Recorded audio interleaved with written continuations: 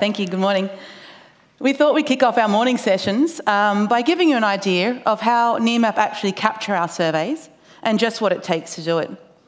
There's a range of things that have to come together in order for it to all work out and for it to happen. And it makes for a pretty interesting story. As Rob pointed out, Nearmap is not and never has been a satellite imagery company. We fly planes. We do so so that we can provide maps that are a higher resolution for our customers. Um, if you only take one thing away from today, that's what it's going to be. We fly planes. Mind you, the guys coming up later on are going to talk about some really cool stuff. They'll probably want you to take away a little more, but right now, this bit's all about me. Uh, across our fleet, we have several different kinds of aircraft. We have things like Cessna 210s, Cessna 310s. At the moment, we have a um, uh, P68, um, a Vulcan Air P68. And in the States, we have things like Piper Navajo and the Navajo Chieftains. This morning, we'll have a look at the humble Cessna 210. It is a good, steady, reliable aircraft. They're an absolute workhorse. Some of them have been around for years. And in fact, you can kind of think of them as like your nana's old Kingswood of the sky, right down to the woolen seat covers and box of tissues on the back. We fly between 8,000 and 18,000 feet. Um, and just for your perspective, if you think about uh, cruising altitude of a uh, jumbo is around 30 to 35,000 feet. It helps if you think about what you can see out of the window at those kinds of heights. Gives you an idea of what we're dealing with. Shows how, you know, we're really quite impressive. Say that a little bit humbly, but not too humbly. The height we fly is dictated in the first instance by the camera system we have on board. The higher we fly, the longer the lenses we use. Flying at these kinds of heights allows Nearmap to capture in the scale that we do. Globally, for financial year 2019, we will have captured almost two and a half million square kilometres. You can think about that as being capturing almost all of Kazakhstan. No? And if that doesn't particularly be all that relevant to you, I don't know why.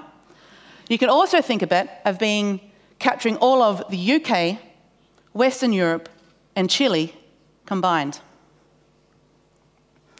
One of the great and unique things about Nearmap is that we basically have designed and manufactured and own the whole process from end to end. That includes the design and manufacture of our hardware, the camera systems. We have created our own bespoke software that does most of the processing. We design the coverage strategy, we do the capturing, we create the flight plans, we own the processing, and we own the delivery. I just mentioned the flight plans. These are what we uh, provide for our pilots so they know where to survey and what line they need to follow. It's all GPS tracked uh, and based. They also include terrain and altitude data. And our accompanying software dictates when our cameras fire, taking thousands and thousands of survey, uh, photos per survey. We fly in a serpentine action, just back and forth, back and forth.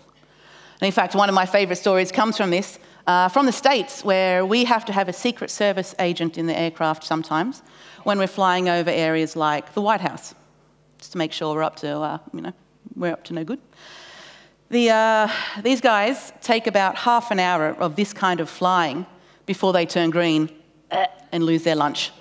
So they're not quite as tough as Bruce Willis would have you believe. That's what we've learnt. On average, a single flight will last around four hours. And as I mentioned earlier, we take a lot of photos, a lot. Over our 10 year history, we would have captured over 500 million photos. If, for some weird reason, we would print them all out, stack them on top of each other, that would be four times higher than Mount Everest. Now, when this stat was thrown at me, I didn't believe it, so I've checked the maths on it a couple of times. It's true. It's insane, but it's true. And what's more insane is next year, we will again take another 500 million photos. One year. How's that for growth?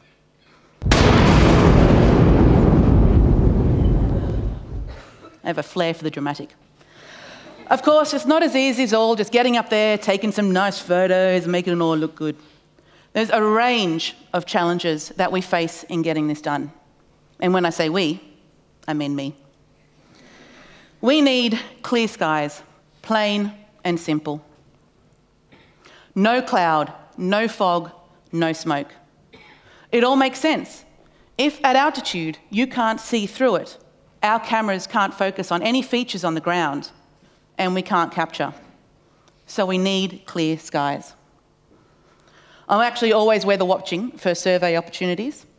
Um, I can tell you tomorrow in the Gold Coast it's going to be about 25 degrees, patchy clouds. We won't have a chance. My friends actually use me as their weather app. I'm still as uh, unreliable as the forecasts, of course, but at least I can tell them with a smile that it's probably going to rain on their wedding day. and perhaps it's just me, but I get a little evil satisfaction in something like that. Of course, weather is a daily consideration. We have to think about seasonal climates as well. We're not going to try and capture Cairns in the middle of the wet season. We would struggle to get Melbourne done in the middle of winter. There's certain times of the year that an area's geographical and latitude location that makes it harder to capture or even impossible. The sun's shining down, everything's beautiful. We go up to, say, 14,000 feet, and it's as damn bumpy as a roller coaster. Turbulence, wind at altitude. These are the sneaky, invisible, natural enemies to people in the survey business. They ruin clear days. You saw earlier the flight plan the, that we need to follow. Our pilots have to stay exactly online for all that time. If any chance we get they go offline, we're missing photos that we need.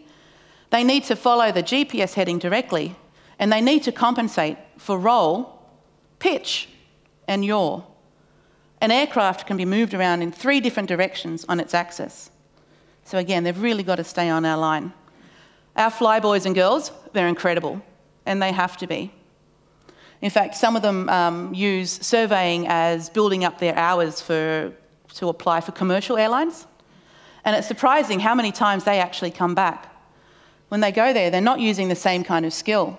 They're using autopilots. They get bored and they come back. Another constraint to consider is sun angle. We only capture when the sun is above 30 degrees in the sky. Otherwise, the shadows start getting too long. During the year, what we call available sunlight changes again on the um, season and the latitude of a particular area. Picture it in your own mind. In summer, the sun, it's right above us. We get good long days.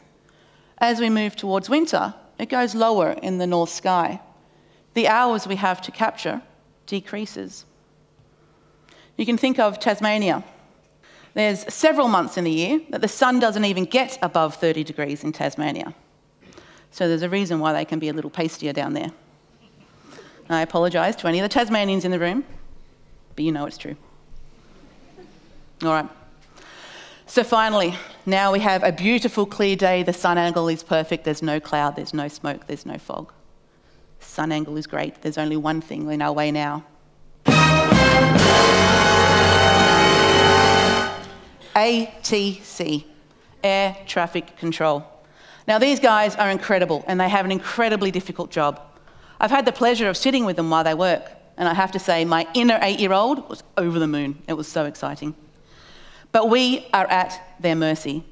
If we want to fly in controlled airspace, we need their clearance sometimes getting clearance and wanting more clearance can kind of feel like that little orphan kid that has to go up to the powers that be with a bowl going, please, sir, I want some more. It's a bit dramatic again, but the theory's good. Different locations around Australia and around the world have different restrictions in regards to their airspace. We have to consider where our survey regions are and what uh, area or what airspace we will be flying in. For example, over a major airport, we might have to fly quite high. But around the sides, under the approach and departure vectors, we might have to fly quite low. Knowing these kinds of restrictions means we have the right camera system and the right aircraft combination in play so that we can capture and so that we can do so in a manner that keeps our maps of a certain standard. Okay, so we're getting towards the end of the capture story now. Sad, I know.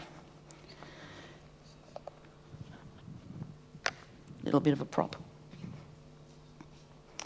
If all our uncontrollable and slightly unruly ducks line up in a row, we look to fly where and when we can 364 days a year. It's only Christmas that we have down tools. We go up there, we capture some incredible things. This earth is stunning and breathtaking, and it has been an absolute privilege to see so much of it in this way, like we do. So we're up there, we take our nice photos. They go on card sets or on solid state drives, like this one.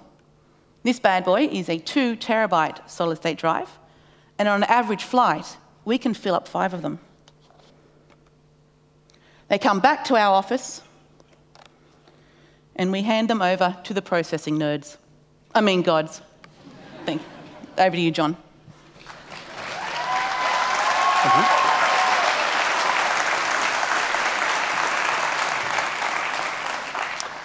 Thank you, M'Shenda. Good morning, everybody. So, on these disk drives is all the photos that we capture during the flight. And there are a few other things on there as well, so there's GPS logs and so forth. But fundamentally, everything that we produce comes from these photographs. And actually, that's the way that mapping's been done for over 100 years. So, almost as long as we've been flying aeroplanes, we've been capturing photos from those planes and turning those into maps. When I started in this game around about 25 years ago, we were using machines much like the one that's about to come up. They're incredible machines, they are fully mechanical. You operate them by turning dials and operating nod, uh, knobs. It's a bit like being inside a transformer, in fact. Is there anyone in the audience who's actually used one of these machines before? A few hands. Oh, that's fantastic. We don't normally get too many people who've seen these before.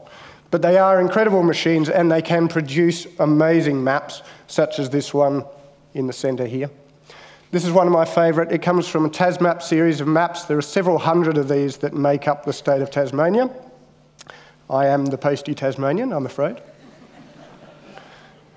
and these maps uh, came out about once every few months, and that's how long it would take to create one of those. It was painstaking work, but the results of them were quite amazing. So every one of these maps would get printed onto paper and then it would get sold in an actual real shop. And there'd be a certain amount of anticipation that came along with each one of these maps coming out. I remember each one sort of going, yes, here's another discovery to be made. This particular map behind me is a small part of my favourite one ever. Uh, and it took me a long time going, it's coming, it's coming, it's coming. And when it did, it was very exciting. The maps that we produce today at Nearmap look very, very different to that. So the contours have gone, and instead now we've got pixels. The intricate line work's no longer there. Instead, now we can see the individual rocks and the individual boulders themselves. The boundary lines, they're not there anymore. Instead, you can see the fence that forms the boundary or the rock wall. The property parcels, they've been replaced by actually seeing the building itself. So the house, maybe the solar panels on top, the garden with the swimming pool, the Kingswood in the driveway. The roads themselves Instead of just being a straight line, now you can see the cars on the road, you can see the lanes, you can see the lane markings, you can see the traffic lights, you can see the road signs, you can see the pedestrian ways, you can sometimes see the pedestrians themselves. So the detail in the, in the maps that we produce is far away, far beyond those maps of old. And the other thing that's changed is that the time taken to make them has come down dramatically. So Nearmap today creates an average of 20 of those old maps every single day. Okay. But make no mistake, they are still maps. So every image has its identity and every pixel has its place in these images. They're photo maps. Getting those pixels into those places is hard work. So photos are flat, and the world really isn't flat. In fact, the closer you look at the world, the less flat it becomes. And so the only way that we have of turning those flat photos into the fully three-dimensional world that we see around us is to combine multiple photos from different angles. And when you do this, what you can do is a process of triangulation, and that gives you the precise feature on the ground, the precise location of a feature on the ground. And if you do this over and over again for every corner and every edge in every photo, we've got all the information we need in order to precisely locate every one of those photos. Now, if we go further and we do that same process for every single pixel in every single photo that we take, we can end up with a full three-dimensional reconstruction of the whole world. And of course, that is what we did, and that's what we'll be talking about a little bit later on, but not just yet. There's a bit more to get through, because like everything in life, it's never that straightforward. It turns out that light doesn't actually travel in nice straight lines after all. Let me take you through it. So the light that comes into our camera systems comes all the way from the sun, of course. It travels across 150 million kilometres before it gets here. It takes that light about eight and a half minutes to travel across space. And when it gets here, it hits something.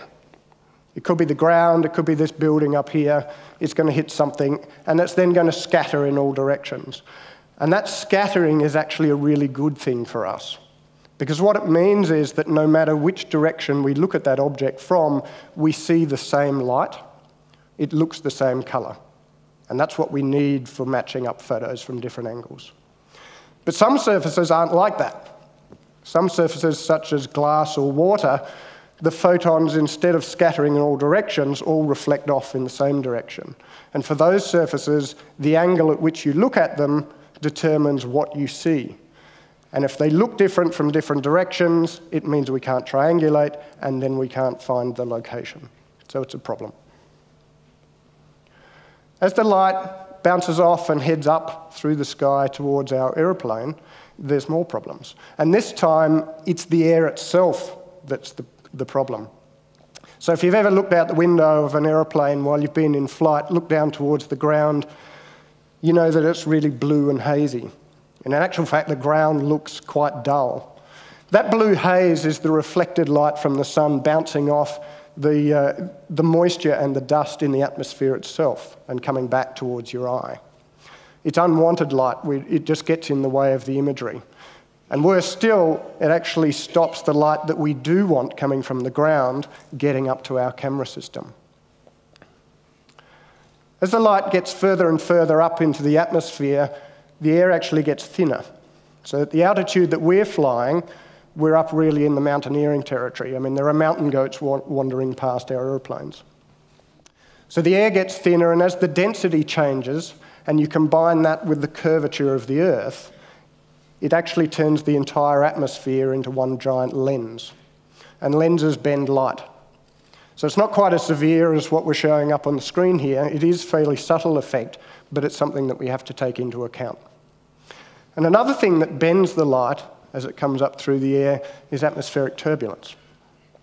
If you've looked out through the shimmer of a heat haze on a hot day over a hot bitumen, for example, that shimmer, viewed through several kilometres of air, is actually the equivalent of several pixels worth of distortion. As these brave photons finally get to our aeroplane, they have to go through a maze of mirrors and lenses. Now, some of the elements in this, in this system are in constant motion. So, whether it's the scanning left and right, up and down, of the mirror system, or whether it's just the gentle hum induced from the engines, those photons are getting knocked about by this movement. The final step of the journey for these photons is to go through the lenses themselves. Now, these lenses, of course, are really good quality ones. Um, we use a lot of lenses but no matter how much money you spend on a lens, no matter how good the quality of the optics are, there are always distortions. It's just the nature of the beast. And you have to model these distortions.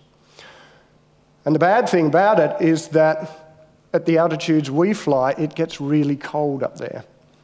So it's typically around about 20 degrees colder at altitude than it is on the ground. but it can actually also be quite warm as well. So the temperature can go up and down during the flight quite a lot. And as the temperature goes up and down, the elements in the lens expand and contract with the temperature, and it changes the optical arrangement of the lens. And that has to be modelled as well in order to get the accuracy we need. The very final hurdle for our brave Nearmap photons is the sensor itself. And on that sensor, we place some colour filters. Uh, most importantly, of course, are the red, the green, and the blue that are on the, the sensor itself. You may not know this, but humans actually perceive the world differently from one another. So, for example, 1 in 12 males is red green colourblind. Fortunately, our sensors aren't red green colourblind, but they do see the world differently to how humans see it. They actually see more light than, than what we see. They're a little bit more like, um, like uh, there's an animal that sees more light. Anyone know what it is? A mantis shrimp? A goldfish. Thank you. Mantis shrimp. I'll look that one up. So we see more light, uh, so we have to take that into consideration. So there's a lot that goes on before it even gets to our senses. Um, fortunately for everybody here in the room, we've got over 10 years of experience in this stuff. And so we've got a lot of software and hardware experience that we can bring to bear on all of these problems. And what it means is by the time the imagery actually gets to the web server and to the website that you guys look at, some of it can be really quite stunning. These are some of my favourites.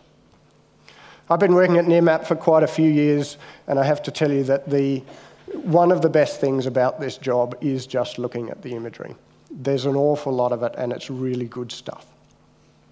But one of the surprising things that comes up and surprises me year after year is the fact that you can see an awful lot more from the sky than you can when you're actually there in person.